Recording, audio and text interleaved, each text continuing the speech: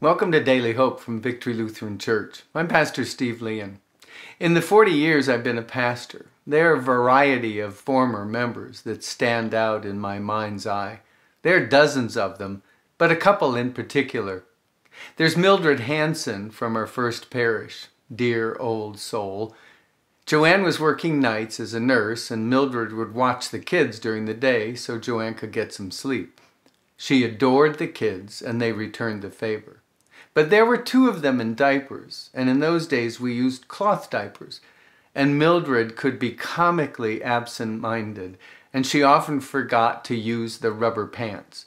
She'd be holding them close, and before long one of the kids, and Mildred, would be bespotted with urine. There was Dottie Leslie in our second parish in South Texas. She showed up the day after we arrived, asked for our dirty laundry, then returned the next day with all of it washed, dried, and folded. And then there was Anna Kramer. She was another. When I was out of town at Bible camp and Joanne was deathly ill, she rang the doorbell, showed up with a huge pot of soup, put Joanne to bed, then fed the kids, bathed them, put them to bed, then washed the kitchen floor and left. What a godsend. And then there was Ruth Rowan. When we moved to Cedar Falls, Iowa, she was our oldest son's first teacher.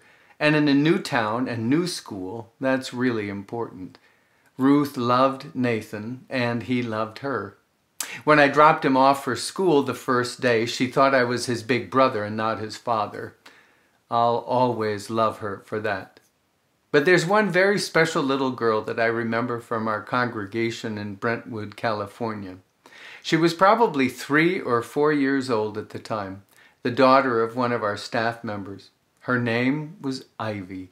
She had this beautiful head of curly brown hair, often graced with little bows. Ivy and I had a special relationship. Whenever I saw her, I would stoop down to eye level and we'd talk. She was rather quiet and shy, but I could tell she liked me. One day she came to church in her finest red dress and had on these beautiful little ruby red shoes that were covered in red glitter. I stooped down to talk with Ivy and I told her that I thought her shoes were really something special.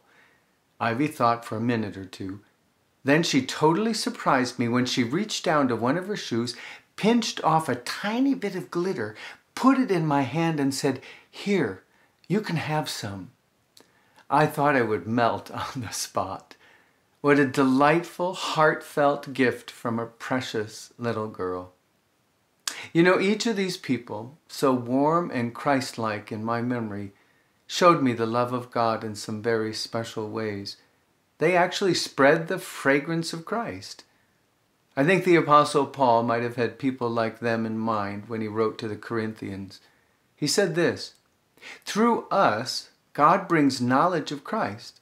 Everywhere we go, people breathe in the exquisite fragrance of Christ, and because of Him, we give off a sweet scent rising to God, which is recognized by those on the way to salvation, an aroma redolent with life. What a gift we can be to one another, friends. Let's be intentional about doing just that today. Spread the fragrance of Christ wherever you go.